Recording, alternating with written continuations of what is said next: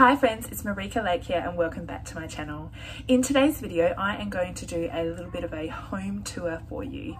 If you tuned in to my video that I posted a few weeks ago talking about big changes that are happening here in the lake house, um, I shared on that video that we're actually um, renovating our house. We're actually extending it. We live in this cute little 70s home by the sea here in our um, in Western Australia and we love our home. We love where we live we love the street that we live on, but our house is actually just getting too small for us because we have seven people now living here. My children are getting older.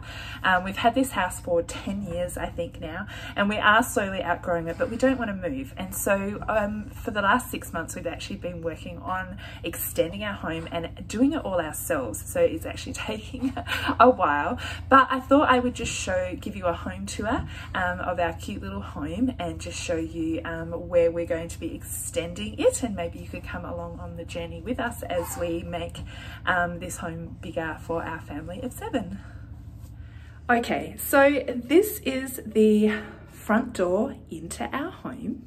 I just had to step outside to show you our entryway because it is so tiny. As I said, here is the front door and it comes straight into our little hallway um, and down into the rest of our home.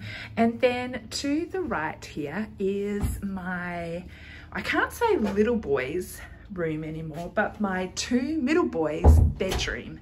Now this room that I'm actually standing in, which is at the front of our house, right inside the front door, used to be the home's main living room. As I said, this is a very small home. It was built in the 70s and it's only a three bedroom, one bathroom. And this was actually the main living room. Um, and we had this as our living room probably for about four or five years until Jackson was born and we needed more bedrooms and more space. And so we decided to build on another living room and homeschool room, which you have seen before, and turn this living room into my two middle boys' bedroom. It has this super fun um, sliding door from the 70s as their door and I, I, actually love that so I have kept that feature. And I just have as I said my two boys in here. I actually purchased all of this furniture off of marketplace and it was all wooden and I just painted it myself so it would all look cohesive. Um, but this is just my little uh, two middle boys. I keep going to say little boys. Um, my two middle boys bedroom Okay, so as you come out of my boys' room back into the tiniest of tiny hallways, um, we come down and then to the left here is actually the master bedroom. So you've probably seen little glimpses of my master bedroom before. This is the place that has the best light in the house and is usually the quietest. And so I usually sit in here to film my YouTube videos, like my intros and outros and things like that. Um, so you probably have um, seen it, um, but it's not very big at all. Now we are very tall people. So we're over six foot, my husband and I. So we actually have a king sized bed and my king size bed actually takes up pretty much the whole room. Um, and so that's that's my bedside table. It's right next to the door. Um, I've got an armchair in here at the moment because that is actually where I feed uh, baby Jay in the middle of the night and there is his um, little bassinet. And so I've got those squeezed in here in the corner um, at the moment um, and then this is just our wardrobe. It's just kind of built in, which is great, but it's not a walk-in robe. Can't wait to get a walk-in robe. And then I just have my drawers here, which is not styled. It's just kind of become this dumping ground. And so this room really just kind of is just like living its purpose. It's not really decorated or homely at the moment because I'm moving out of here and into our new bedroom. But this is currently the master room. And as I said, we are building, oh, let me turn this camera around. We are actually in the process of building a new master bedroom and this room will become my oldest son William's room. He's 15. This will actually become his bedroom. So at the moment it's kind of just functional. I don't have anything out as you saw on top of my drawers. It's just stuff kind of sitting around um, because I'm waiting to move into my new room. But this is currently the master bedroom of our little home. So this is our master bedroom here. So you come out and opposite that is the only like storage closet in our house, the only linen closet in our house. It's tiny, full of junk and I won't show you that because it's so embarrassing. But in our extension, we are building a new cupboard, which is awesome. So you come out of our master bedroom and then it is straight into what is our dining area and then into our very, very small kitchen. Our kitchen is tiny. I do love it, but it is so small. So this is another, this is kind of the next project after we finish the bedrooms. Um, but honestly, it's gonna take a few years to get to doing this. But this is our tiny 70s kitchen. I actually love the wooden cupboards. I love the open shelves. I think they're so cool, um, but it, it's just small and tired and needs an update. But we've got our fridge here, um, coffee, old stove, can't wait to get a new stove. Um, no dishwasher. My sink is so tiny and it's really low. As I said, I'm six foot and so it's so low. And my cool 70s pantry door, I actually really like that door. Um, it's missing a handle, but this is our tiny kitchen. And let me just show you, the one thing that does actually bother me is my lack of bench space. This bench space is so tiny. Let me get a plate.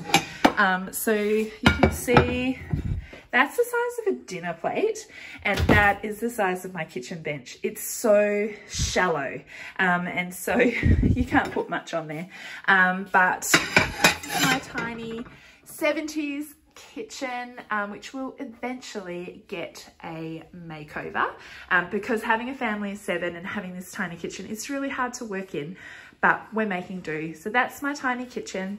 And then in behind here, I'll just show you that quickly, is my laundry room, um, which is tiny, full of junk. Um, and I can't wait to get, as I said in the new extension, we're actually building um, a walk-in like closet um, where we can store things. But this is my toilet laundry with a door that goes outside.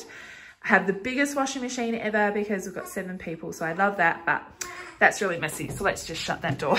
um, and then this is um, actually my dining room. My dog, he is just following me around the house while I film this video and you can hear my baby Jay making cute little noises there. But this is our dining room. Um, now let me just give you a bit of a full look. All right, this is a look at it from the other angle. So you can see here coming down the hallway, bedrooms there. Um, at the moment, I've got this corner set up with all of Baby Jay's things because he actually doesn't have a bedroom. So that's his shelf with all these things on and a change table. I think what the original Planet House would be that that was actually the dining space there. They would have had um, like a, a, round probably um, dining table there. So that's just my dog having a drink. And then this probably along here would have been another sitting area. Um, but we've got this big eight seater table. So we've just popped it in the middle of the room. And then um, I just have that uh, shelf down there has extra food because my uh, pantry is so small. They're having seven people. They've always got extra food. So I've got food stored in there. And then at the moment, as I said, this is all of baby Jay's things and his change table. And he's actually sleeping in my room. And then this is actually, can you believe it or not, my home office. As I said, this is only a originally a three bedroom, one bathroom home, and we turned our lounge room into the fourth bedroom. So there's no like extra room for an office. Um, we have a homeschool room, which has all of our homeschool supplies. But this shelf behind just, um, sorry, this side, just um, like hides like our home office stuff, like paperwork, um, junk, cords, electronics, and all that kind of stuff. And so I really would like to find a new home for that. But at the moment, that's just kind of all hidden um, on that shelf. So that's our dining room.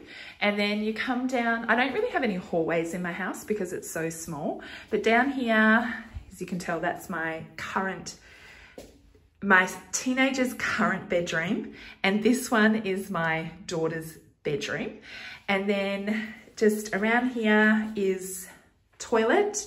Um, and this is the only bathroom, bathroom that um, we have in the house. Um, it is tiny. Um, we renovated ourselves. Um, it probably needs to be updated at some stage, but this is the only bathroom we currently have in the home. And we are going to be adding another bathroom. So I will show you where that's going to be. But as you can see, it is the house is not very big. We're making it work though. So there's my daughter's room and there is my son's room right there. So that is the original home that we started with. As I said, it's built in the 70s, just a three bedroom, one bathroom home fairly small. When we moved into this home, we only had two children. Emily was a newborn baby. William was just five years old. And at the time, it was plenty big enough. But we've had three more children jo join our family.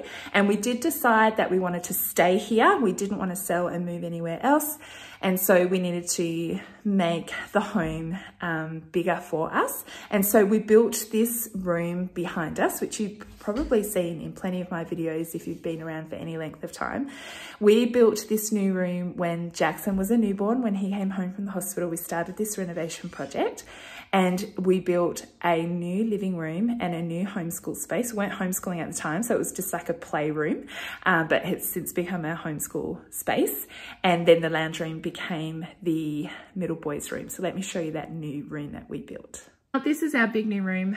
I haven't cleaned it up. It is as it is. I've got laundry sitting everywhere. My kids are here.